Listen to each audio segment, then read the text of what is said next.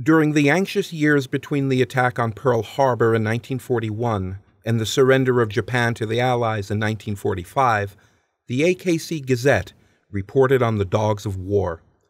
The photographs that accompanied those reports, many creased and brittle with age, still reside in the Gazette archives. The stories behind these photos are part of the sprawling history of World War II. Camp Lejeune, North Carolina, home of the now legendary Marine Corps Devil Dogs, is a good place to start. It was here that teams of dogs and handlers were trained for service in the long campaign to liberate the islands of the Pacific from the Japanese.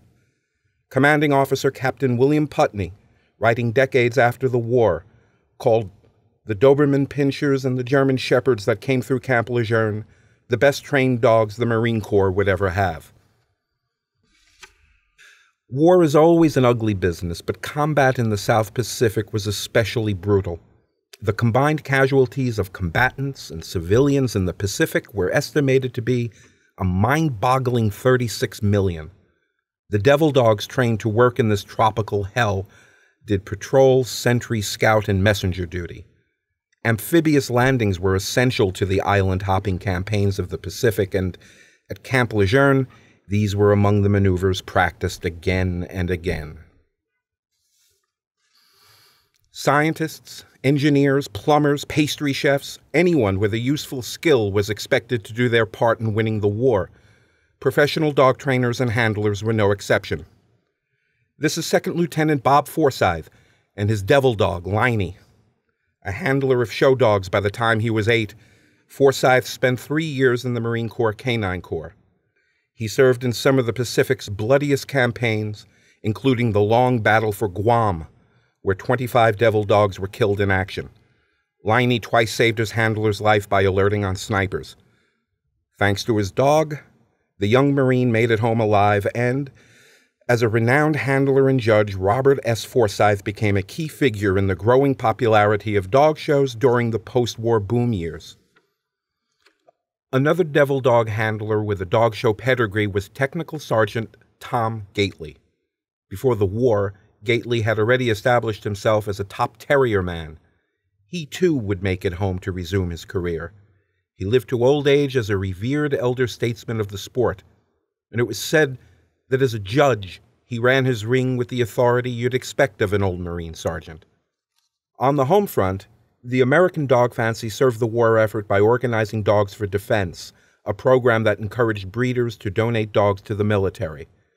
Among its organizers was Hayes Blake Hoyt, a wealthy society matron famous for her line of elegant standard poodles. The glamorous Mrs. Hoyt, in her trademark white gloves, is seen here on the grounds of a dog show urging her fellow fanciers to support Dogs for Defense. One who answered the call was Rose Wakeley of Waterbury, Connecticut. In 1942, her Doberman, Otto, was accepted by the Devil Dogs. Two years later, Otto was officially a hero, commended for an outstanding performance of duty during the savage battle for the Solomon Islands. Otto indicated on a sniper's nest and saved the lives of fellow Marines, including Privates Marvin Troop and Henry Deneau, pictured here. A 1944 press clip of Otto's exploits concludes He has been in continuous action since then, living in foxholes and performing his duties under fire. Dobies and German Shepherds did much of the war's dirty work, but dogs of many breeds answered the call of duty.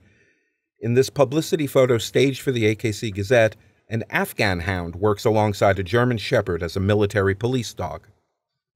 This is Boots, the parachuting bulldog, a familiar face at Randolph Field, Texas, where Air Force pilots trained for combat. The unlikeliest canine hero of the war was Smokey, a Yorkshire Terrier owned by Bill Wynn, an aerial photographer stationed on New Guinea. At seven inches tall, Smokey was hardly a devil dog, but in one of the best feel good stories of the war, she completed a mission beyond the ability of any Doberman. There was a dire need to run telephone wires through a drainage pipe laid beneath a runway.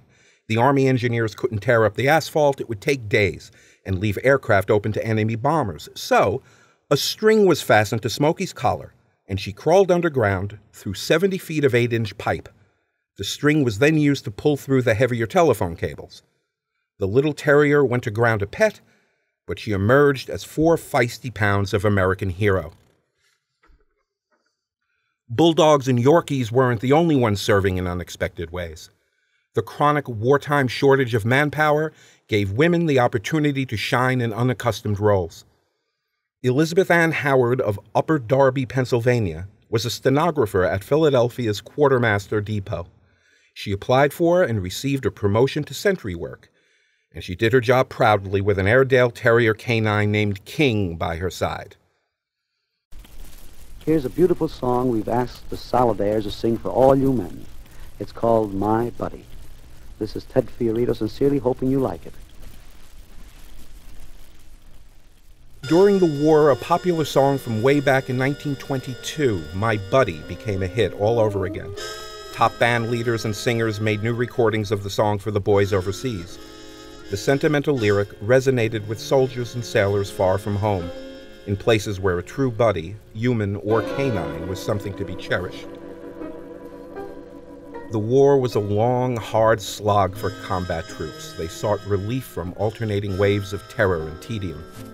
A popular diversion was to take in mascot dogs, strays whose civilian owners were killed or displaced by war. They weren't government issue, but in their way, mascots performed a vital service. They made life a little more bearable. GIs adopted dogs at every turn, wrote one historian and the photographs of their friendships worked their way back home. Military press officers fed these snapshots to stateside newspapers as a way of boosting morale on the home front. Today, historians of the war have a term for these dog and soldier pictures. They call it buddy photography. As the years pass, fewer veterans of World War II remain to tell their stories. It's up to us who still benefit from the sacrifice of those who made it home and those who didn't to preserve these memories and pass them forward. In the grand scheme of things, some fading old dog photos aren't much, but out of such threads are woven the vast tapestry of history.